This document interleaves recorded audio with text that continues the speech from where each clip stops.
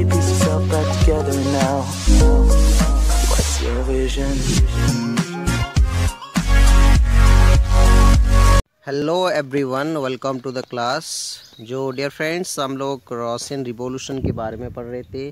जैसे कि इसका जो पहला कंसेप्ट था socialism in Europe socialism in Europe so उसमें हम देखे थे कि how there was development of socialism in Europe in the entire Europe and how it spreaded over over the years and okay so now we will see here uh, the another concept uh, in this chapter is Eurasian revolution. तो इसमें हम देखेंगे कि how the societal changes the political changes in the in the in the continent of Europe that brought up a mighty revolution in Russia okay तो हम देखेंगे कि Russia में ऐसे रिवॉल्यूशन क्यों लाया था? सो डियर फ्रेंड्स मैं जैसे कि आपको बहुत बार बता चुका हूँ रिवॉल्यूशन क्या होता है? ना revolution is is a kind of drastic change in the domain of your politics your social और इकोनॉमिक और any any aspect of our lifes तो ये रिवॉल्यूशन हुआ था। हम देखेंगे कि रशिया में भी एक बहुत बड़ा सा रिवॉल्यूशन हुआ था, जिसमें कि बहुत सारे बदलाव आया था। तो चलिए हम शुरू करते हैं। तो पहले हम देखेंगे कि रिवोल्यूशन होता क्या है और किसको रोशन रिवोल्यूशन कहा जाता है। The in one of the least industrialise of European states the situation was robust we are talking about Russia so socialist to cover the government in Russia through October revolution of nineteen took over the government यानी कि they overthrew the government or, or the then government of uh, Russia that was uh, what kind of monarchical government था जिसको ये हटा दिए कौन हटा दिए ना सोशलिस्ट ग्रुप उसको हटा दिए जैसे कि uh, और ये कब हुआ था ना अक्टूबर रिवोल्यूशन 1917 में हुआ था सो so, ये देखिए the fall of monarchy in February 1917 and the events of October events of October are normally call Russian revolution तो ये दोनों जो इवेंट्स था, दोनों जो इंपॉर्टेंट जो इवेंट्स था, इसको लेके, इसको दोनों को मिला के क्या कहा जाता है? ना रशियन रिवोल्यूशन कहा जाता है। ओके तो हम देखेंगे कि how did this come about and what were the different kind of reasons what were the different reasons that force the Russian people to go for a revolt go for a revolution okay so uh, let's see that uh, the the historical background of the empire उस empire का हम historical background देखेंगे कि uh, वो empire कहाँ था कौन कौन सा एरिया उसमें included थे वो सारी चीज़ हम जानेंगे इसमें देखिए द रोशन एम्पायर इन 1914 हम पहले 14 का कंसेप्ट ले जाएँगे तो रिवोल्यूशन तो 1917 में हुआ था लेकिन हम लोग देखेंगे 1914 में क्या था रोशन का एम्पायर कौन कौन सा एरिया को लेके हुआ था? तो ये देखो nineteen nineteen fourteen, tsar Nikola second ruled Russia and its empires. Beside the territory around Moscow beside the territory around Moscow the Russian empire included current day Finland Latvia Lithuania Estonia parts of Poland Ukraine Belarus ये सारे लेके था। Moscow तो है ही Moscow जो कि उसका capital है। ये तो था ही और उसके साथ साथ ये करंट डे के जो लेटविया जो यूरोपियन कंट्री है इस्थोनिया ये सारे जो यूरोपियन कंट्री था, ये सारे को लेके हुआ था। उसके अलावा बहुत सारे एशियन कंट्रीज़ भी इसके अम्पायर में इंक्लूडेड थे, जैसे कि stretch to the specific and comprised today central Asian state as well as ग्रिगोरिया Armenia Azerbaijan ये सारे आपको मैप में देखना पड़ेगा। Okay you can refer to the okay modern political map in order to know the map skill okay उसको देखना पड़ेगा आपको। So this is this this is a home this is a homework for you okay so आप देख लीजिए। And uh, उसमें और क्या था? The majority religion was orthodox Christianity it was completely orthodox orthodox means the people do not want change kind of conservative people okay तो ये orthodox Christianity था which had grown out of the Greek orthodox church but the empire also included Catholics थे Protestant Muslims और, अन्य सारे religions के लोग भी रहते थे. So this was about the Russian empires and the people who lived in the empire. अभी हम देखेंगे कि उसका इकोनॉमी क्या था एंड सोसाइटियल जो स्ट्रक्चर्स था what was the structures of the society we will know so let's see Uh, here you can see economy and society at the beginning of 20th century the vast majority of the Russian peoples were agriculturalists about 85 percent of the Russian empire's population earned their living from agriculture देखो ये 85 percent लोग रसिया के agriculturalist थे यानी कि ज़्यादा से ज़्यादा तरह के लोग एग्रीकल्चर का काम करते थे so this portion was higher than in most European countries okay For instance, France and Germany, the portion was between 40% and 50 percent लेकिन रशिया में कितने परसेंट लोग थे? ना 85 परसेंट लोग एग्रीकल्चर करते थे। ओके और 40 और 50 परसेंट लोग फ्रांस और जर्मनी में थे। यानी कि it was what is call least industrialist country यानी कि सबसे कम इंडस्ट्रियलिस्ट ना रसिया ही हुआ था। Okay okay? तो हम देखेंगे इसमें in the empire cultivated produce for the market as well as for their own needs and Russia was a major exporter of grain ये ज़्यादातर के ग्रेन ज़्यादा एक्सपोर्ट करता था क्योंकि ये एग्रीकल्चरलिस्ट कंट्री था। So an industry was found in pockets बहुत कम था found in pockets in very very less prominent industrial areas where Saint Petersburg and Moscow craftsmen undertook much of the production, but large factory existed alongside craft workshops. Many industry was set up in the 1890s 1890s में बहुत सारे industries बढ़ना शुरू हो गया था, जबकि eighteen century और नाइनटीन सेंचुरी के बिगिनिंग में ही एंटायर यूरोप में इंडस्ट्रियलाइजेशन शुरू हो गया था। ओके एटीन सेंचुरी में जो इंग्लैंड में हो गया था, यानी सेवनटीन एंड एटीन सेंचुरी में हुआ था एटीन नाइनटीन सेंचुरी में सारा जो यूरोप में हो गया था, लेकिन अभी भी रशिया में इतना ज़्यादा नहीं हुआ था। तो ये था रशिया के सोसाइटी। देखो when Russia railway network extended and foreign investment industry increase coal production doubled and iron and steel output quadrupled यानी बहुत से ज़्यादा क्वाड्रिपल में से फोर टाइम्स और ज़्यादा से ज़्यादा होने लगा। By the nineteen in some areas factory workers and craftsman were almost equal in number okay तो ये सारा सिचुएशन धीरे धीरे आपकी रोसिया में भी डेवलप होने लगा इंडस्ट्री ग्रो करना शुरू कर दिया। ओके हालाँकि लेट हुआ। Most industry was private property of the industrialist government supervise large factory to ensure minimum wages and limited hours तो ये देखो, ज़्यादा से जो बड़े बड़े फैक्ट्रीज था, वो ज़्यादातर की प्राइवेट ओनर के जो था ओनर में ओनर के ओनरशिप में था ज़्यादातर के। And government supervise large factories to ensure minimum wages and limited hours of work. But factory inspector could not prevent rules being broken. In, in craft units and small workshops, the working day was sometimes 15 hours compared with 10 or 12 hours in factories. Accommodations varied from rooms to dormitories. So this was the kind of conditions uh, that existed in the in the country of Russia Russia में ये सारे conditions था जो industry था that were not being properly supervise by the government officials और बहुत जो बड़े बड़े इंडस्ट्रीज़ था जो ज़्यादातर के प्राइवेट ओनरशिप में था।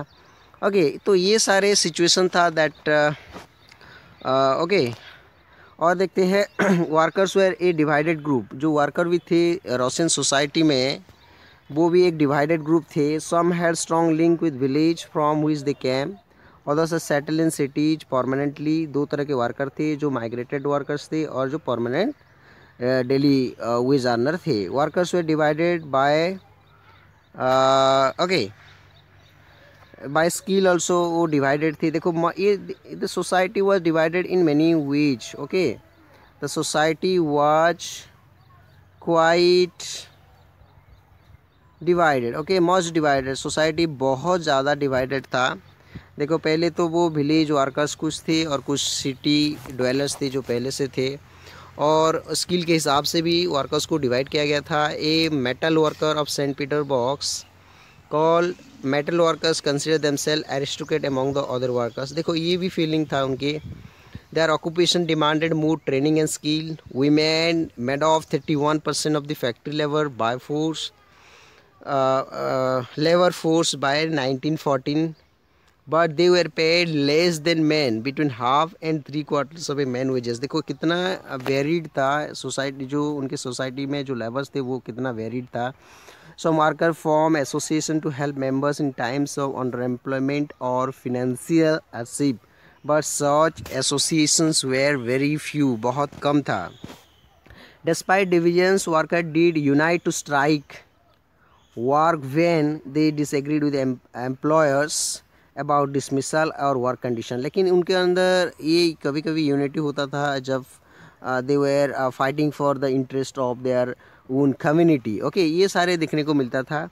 This strikes to place frequently in textile industry during during eighteen ninety six and eighteen ninety seven and in the metal industry during nineteen hundred and two ये देखने को मिला था। And in the countryside countryside यानी जो village area में peasants cultivated most of the land but the nobility the crown and the orthodox church owned large properties okay ज़्यादातर के इन लोगों के पास बहुत प्रॉपर्टी हुआ करता था, जबकि पिजेंस लोगों का बहुत कम प्रॉपर्टी विलेज एरिया में था। Like workers and peasants too were divided देखो वर्कर लोग जैसे डिवाइडेड थे, जो daily wage earners city dwellers थे, कुछ विलेज से लिंक लिंक करते थे। और ऐसे ही पीजेंट्स भी बहुत तरह तरह के थे, यानी फार्मर्स भी तरह तरह के थे। They were also deeply religious जैसे कि इसमें कुछ लैंडलर्ड्स थे, है ना? पीजेंट्स में क्या है? कुछ लोग लैंडलर्ड्स थे और कुछ लोग जो क्या बोलते हैं हम लोग इसको? टिनांस कहते हैं ओके ओके जो कि दूसरे के ज़मीन में ही काम करते हैं। इसको भी हम फार्मर कहते हैं लेकिन वो टिनांस फार्मर है। सो दे वर ऑल्सो डीपली और कुछ लोग भी बहुत डीपली रिलीजियस थे but except few cases they had no respect for nobility nobles got their power and position through service to the tsar not through the local popularity This was unlike France, where during the French Revolution in Brittany, peasants respected nobles and fought for them. In Russia, peasants wanted the land of the noble to be given them. Frequently, they refused to pay the rent and even murdered landlords. In 1902, this occurred on a large scale in South Russia, and in 1905, such incident took place in all over Russia. तो ये देखो ज़्यादातर के Russian लोगों का जो society था उसमें नॉवल लोगों को कुछ रिस्पेक्ट नहीं मिलता था क्योंकि uh, they uh, they all enjoyed their power because they this they had uh, the jars. Okay. And they derived their authority from the jar and there there, there was more discontentment for the nobility from the uh, poor people okay ज़्यादातर के poor लोग उनको बहुत hate करते थे. Okay okay? उनके साथ नहीं मिलते थे. दे ऑफन फाइट टुगेदर बहुत ज़्यादा फाइट करते थे. Okay okay? सो so, ये सारे सिचुएशन था जबकि फ्रांस में थोड़ा बहुत ये था ये एक इंसिडेंट दिया गया है. Russian peasants were different from other European peasants in another way pull their land together periodically and they are commune divided it according to the needs of the individual families देखो, हम जो society पढ़ रहे हैं Russia was quite unique at the time दुनिया में जब capitalist grow कर रहा था रोसिया में सोशलिस्ट जो आइडिया शुरू किया था। ओके सोशलिस्ट और आपके कम्युनिस्ट आइडिया इधर था। तो जिसमें ये सोशलिस्ट और communist is a kind of idea Yes, so Russia being uh, a socialist country, uh, all the lanes were pulled together in a, in every in every uh, three or four years. Okay, they that were pulled together and again divided. Uh, uh, among the among the families according to their requirement uh, or according to uh, the size of the family so it this is very unique in uh, in in in communist or communist or capitalist country okay और capitalist में क्या होता है? The capitalist यानी कि the rich people are all in all okay in in the economic and and and most prominently they they Uh, pressure on the governance of the country. uh, जबकि जो communist होता है it advocates theory it advocates a economic and and theory that where the government should regulate or control all economic and the political affairs of the government or the entire people uh, should interfere in the governance यानी कि ये कहता है कि all people are equal and the people have the right in the equal distribution of the property of the country तो ये है communist idea है uh, जो कि that is quite different okay तो हम देखते हैं और ये दुनिया में दो तरह के कंट्री ज़्यादा तरह के होते हैं। कुछ कैपिटलिस्ट कंट्री होते हैं कुछ सोशलिस्ट होते हैं और मोनार्कियल भी होते हैं लेकिन ये ज़्यादातर के ये दो आइडिया ज़्यादातर के पॉपुलर है जो कि है ना? ओके तो और सोशलिज्म इन यूरोप हम देखेंगे कि ये सोशलिज्म कैसे यूरोप में हुआ रशिया में कैसे डेवलप हुआ था आ, क्या इसका progression tha all the political parties were illegal in russia before 1914 the Russian Socially, Social Democratic Workers' Party was founded in 1898 by socialists who respected Marx's ideas. Okay okay, जो Marx ideas को ये party believe करता था। And what was Marx idea? ना he he always thought that that money is is is the reason of all evils. ये इनका कहना था। okay and the money should be distributed equally among the people of the country ये भी इनका कहना था। So our because of the government policing it had to operate as an illegal organization it's a top news paper mobilize worker लोगों को mobilise करने लगा organise strike ये सब करना शुरू कर दिया। कौन सा party? Social democratic workers party याद करना है। कब हुआ था? एटीन नाइन्टी एट में हुआ था। Okay okay. तो अभी देखेंगे कि some Russian socialists felt that Russian peasants custom of dividing land periodically made them natural socialists so peasants not the worker would be the main force of revolution and Russia could become socialist more quickly than other countries तो ये कहते थे कि कुछ लोग ज़्यादातर के कहते थे कि the peasants would be the okay. The peasant should spearhead और lead the nation to make it a socialist country तो ये कहते थे, कुछ लोग ये कहते थे पीजेंस वेरी इंपॉर्टेंट है, कुछ लोग कहते थे वर्कर वेरी इंपॉर्टेंट है। तो दोनों ही इंपॉर्टेंट है ना?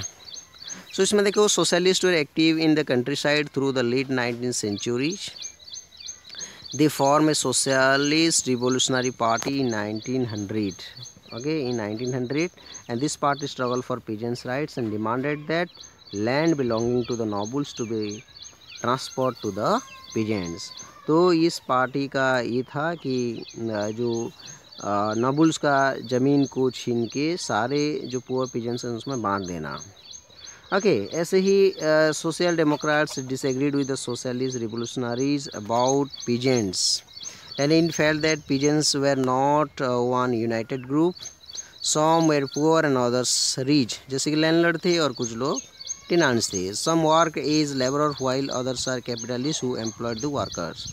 Given this di uh, differentiation within them, they could not all be part of the socialist movement. Socialist movement में पिजेंस को हम नहीं ले सकते ये लेनिन का कहता था कहना था जो कि लीडर थे The party were divided over the strategy of organization. Vladimir Lenin, who led the Bolshevik group, thought that in a repressive society like Tsarist, The party should be disciplined and should control the number and quality of its member.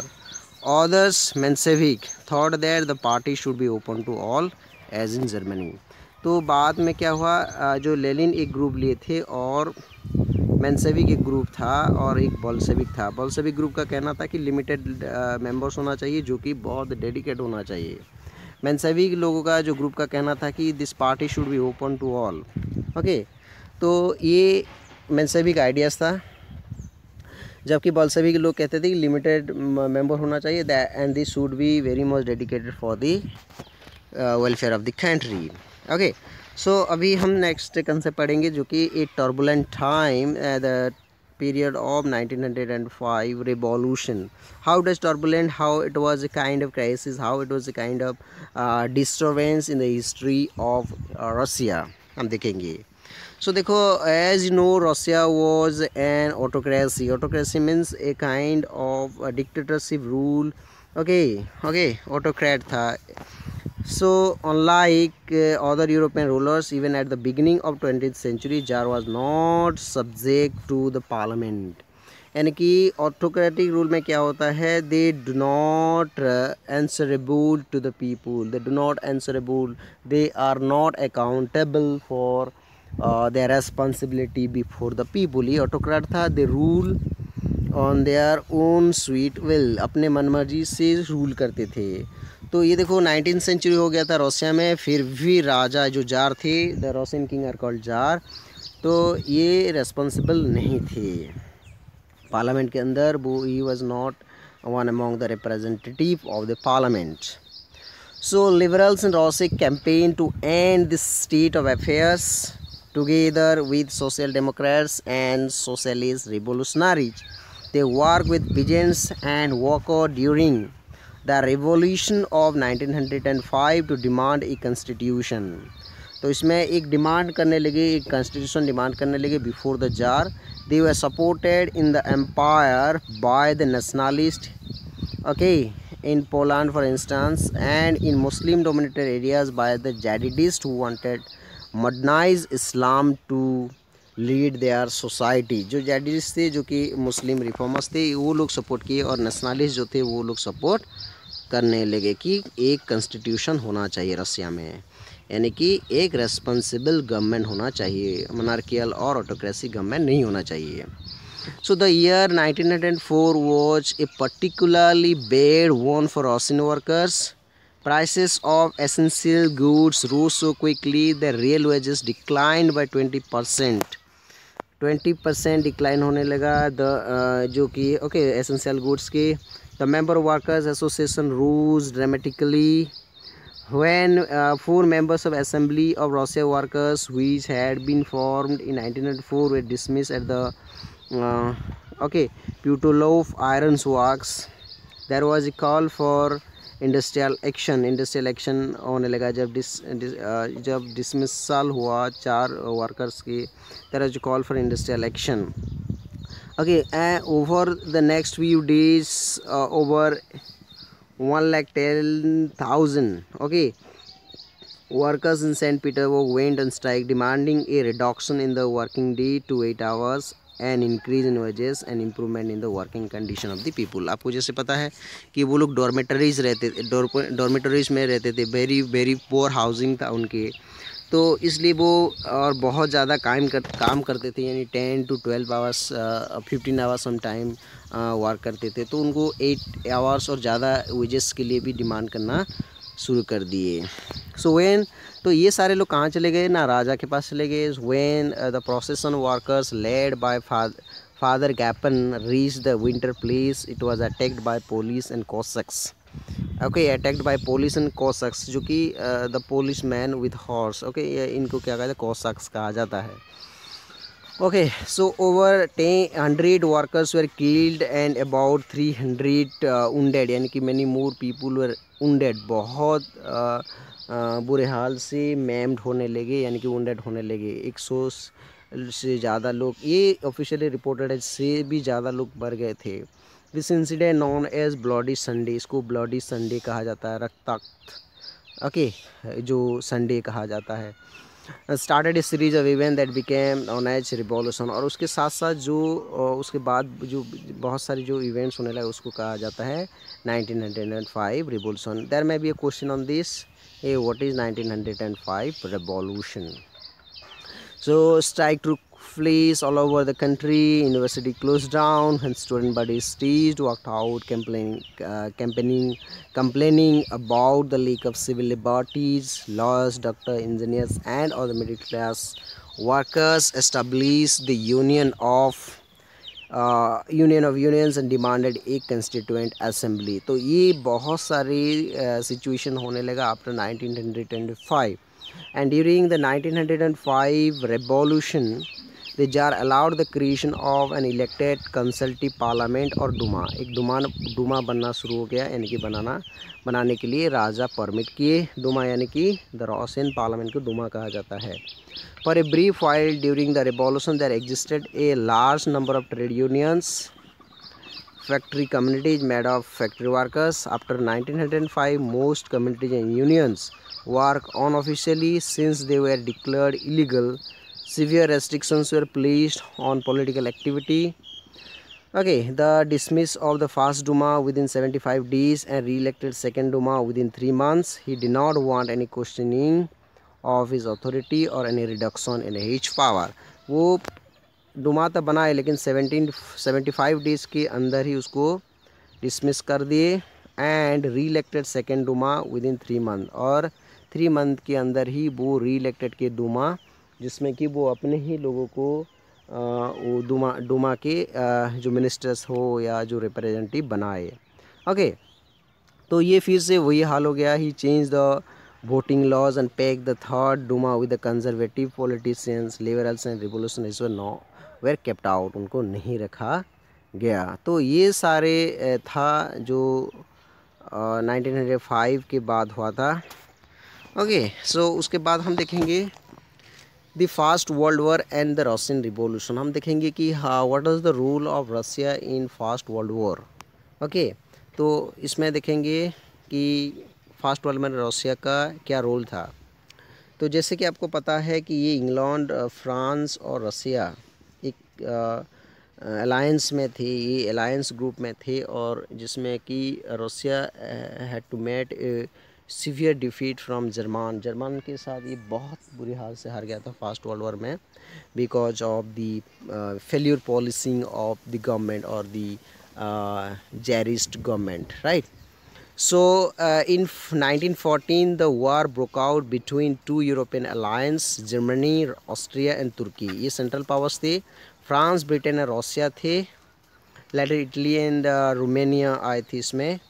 Each country had a global empire सारे जो country uh, थे each country had a global empire and the war was fought outside Europe as well as in Europe this was called first world war इसलिए इसको world war कहा जाता था क्योंकि it was not only confined to the territory of Europe therefore it was called the world war.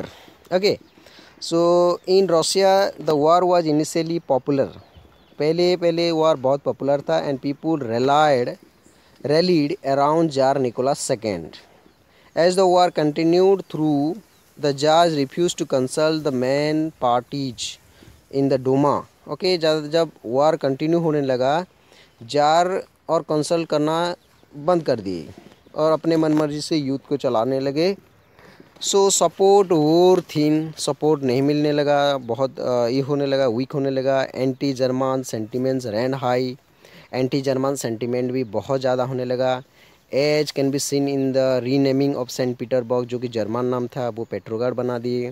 The tsarina Alexandra's Germans origins and poor advisers especially monk called Rasputin made the autocracy on popular तो बाद में क्या हुआ, जो Alexandria जो थे, उनके रानी, यानी कि जो उनके क्वीन थे तो वो जर्मान के थे तो इसलिए जो जर्मान के साथ जब ये लोग पराजित होने लगे तो जर्मान एंटी जर्मान जो मूवमेंट यानी कि रसिया में शुरू होने लगा। And the first world war on the eastern front differ from that on the western front देखो ये जो फास्ट वर्ल्ड वार में थे, ये दोनों साइड से रसिया को वार करना पड़ता था।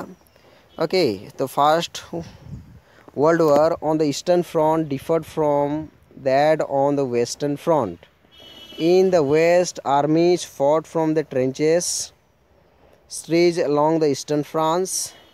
In the East, armies moved a good deal, fought battle leaving large casualties. बहुत नुकसान होने लगा Defeats were shocking and uh, and demoralizing. Russia's army lost badly in Germany and Austria Between 1914 and 1916 में ये हार गया। किससे?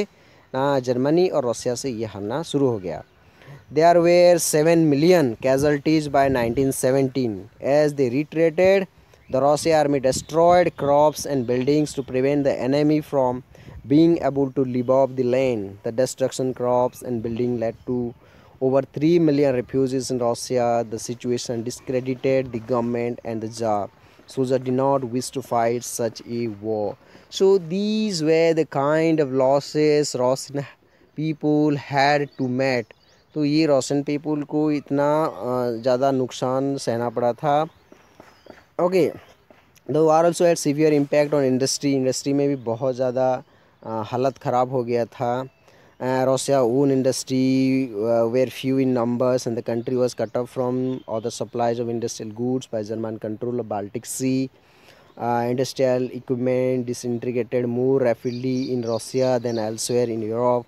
Russia में कुछ भी जो युद्ध के सामान भी नहीं था ओके बाय वेपन्स नहीं था उनके पास By 1916, railway line began to break down. Able-bodied men were called up to the war. As a result, there were labor shortage and small workshops uh, producing essentials were shut down. Large supplies of grain were uh, sent to feed the army. For the people in uh, cities, bread and flour uh, became scarce. Very very scanty होने लगा नहीं मिलने लगा. By the winter of 1916, riots at bread shops were come on.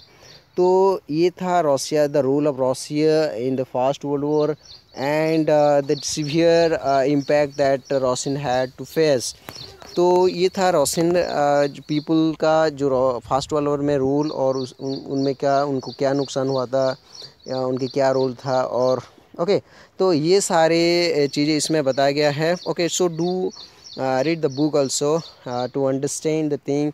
Uh, i hope you understand the thing properly. Okay thank you. Uh, i will explain the rest portion in, in the in the next lectures. Okay so thank you. Bye for now. Bye bye